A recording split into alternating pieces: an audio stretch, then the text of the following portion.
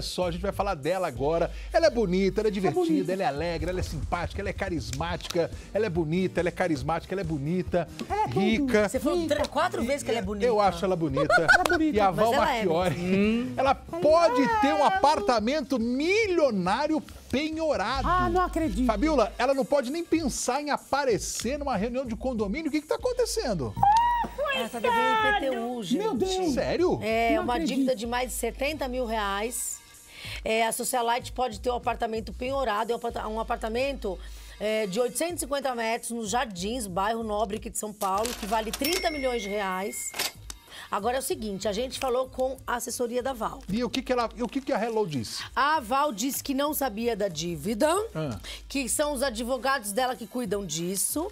Quer ver? Eu vou ler a frase da Val, que a Val mandou pra gente, tá? Por meio da assessoria dela. Eu vou ler, tá Pode bom? falar, claro. Olha, vamos lá. Val Marchiori falando. Quanto aos IPTUs, trata-se de questão que não sou eu quem administra.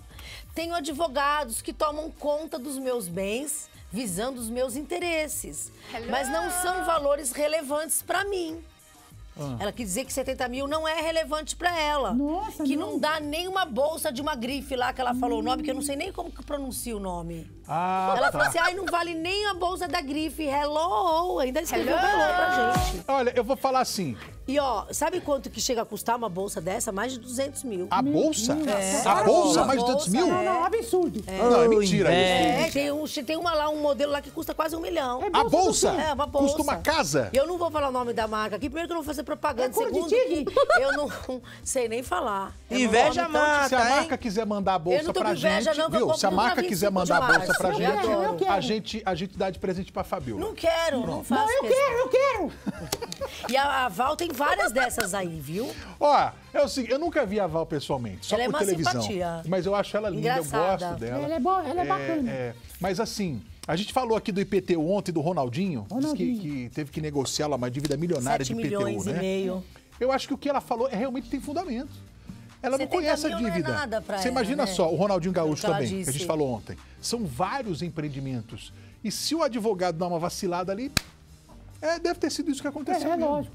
Entendeu? Agora ela vai lá e paga isso aí, meu, sorrindo. Pode ter É, certeza. então ela disse que foi o advogado que esqueceu. Ah, e aí tem que pegar o advogado e dar uma puxadinha de orelha. Você não concorda?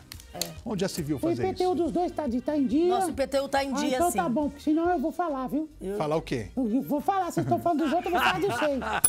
Minha filha, É. não, meu filho não tem uma conta atrasada. Não? Não. Graças a Deus.